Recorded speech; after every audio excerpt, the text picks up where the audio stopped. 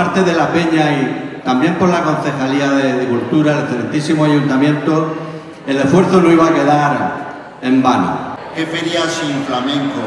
La importancia que tiene el flamenco y de la mano de la Peña Cultural Flamenco de Lorca, con lo cual yo siempre estaré apoyando a la Peña y estaré con todo lo que se necesite y dándole la oportunidad de que la cultura del flamenco siga creciendo desde Lorca. Así que a disfrutar de la feria y a disfrutar del flamenco.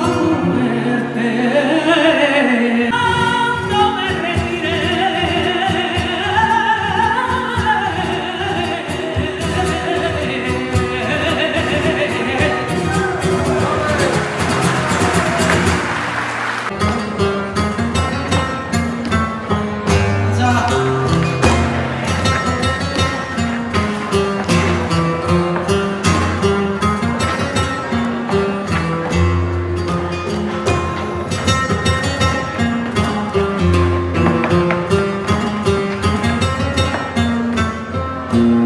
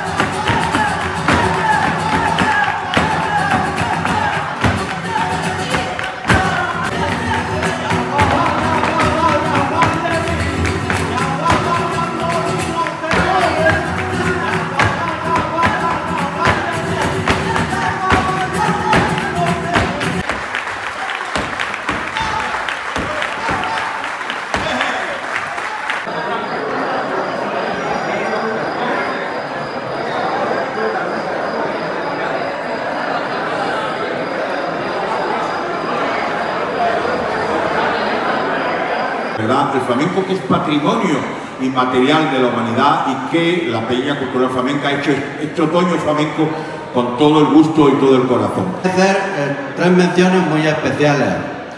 Una va a ser para mi junta directiva, que casi, casi nunca la nombro en ningún sitio. También una persona también especial que está por aquí, Nuria. Nuria, ella trabaja en Concejalía de Cultura y está con nosotros, está también haciendo un trabajo importante, pues también para Nuria y cómo no, también para otra persona que viene desde, desde fuera. Nos hemos conocido por las redes sociales durante muchísimos años, ¿no? Pero la verdad que no habíamos tenido la oportunidad de poder hablar cara a cara por diferentes circunstancias, ¿no? Bueno, si, si les digo que ella es un año menor que yo, yo tengo 66, ya podéis saber, saber la edad que tiene ella. Si, si digo que los dos nos llamamos de apellido Padilla, tiene que ser por un árbol. Por lo tanto, esta noche también para ella una, una mención especial.